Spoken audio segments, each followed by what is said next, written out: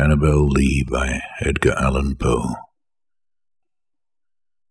It was many and many a year ago, in a kingdom by the sea, that a maiden lived whom you may know by the name of Annabel Lee.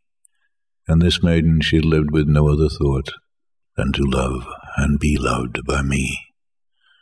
I was a child, and she was a child, in this kingdom by the sea, but we loved with a love that was more than love, I and my Annabel Lee, with a love that the winged seraphs of heaven coveted her and me.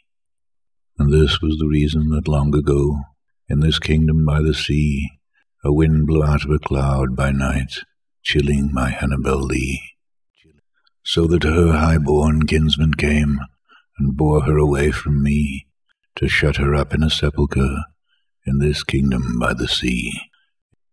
The angels, not half so happy in heaven, went envying her and me. Yes, that was the reason, as all men know, in this kingdom by the sea, that the wind came out of the cloud, chilling and killing my Annabel Lee. But our love, it was stronger by far than the love of those who were older than we, of many far wiser than we, and neither the angels in heaven above, nor the demons down under the sea, can ever dissever my soul from the soul of the beautiful Annabel Lee.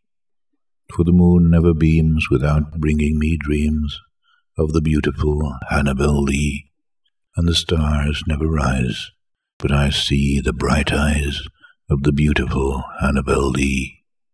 And so, all the night tide, I lie down by the side of my darling, my darling, my life and my bride, in her sepulchre there by the sea, in her tomb by the side of the sea.